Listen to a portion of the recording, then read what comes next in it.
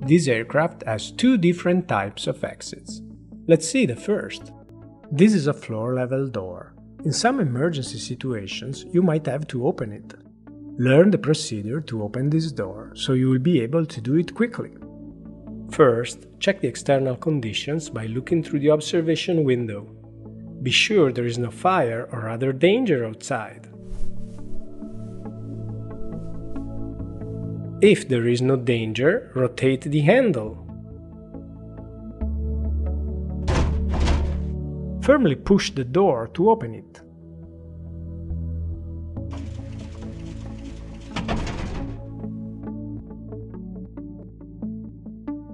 After opening the door, the slide will automatically inflate.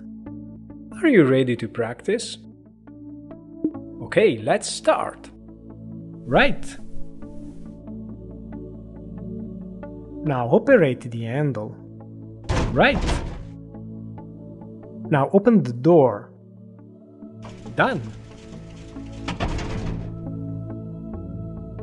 Finished. Excellent. Trial successfully completed.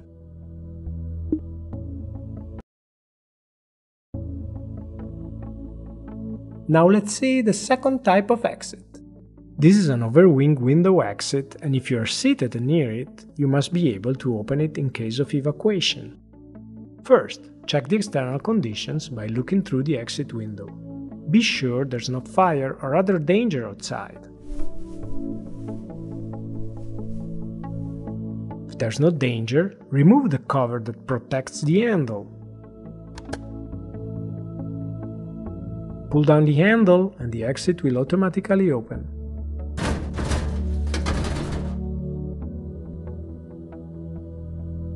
When it is open, you can exit onto the wing. Are you ready to practice? Okay, do your best. Fine. Now, remove the cover.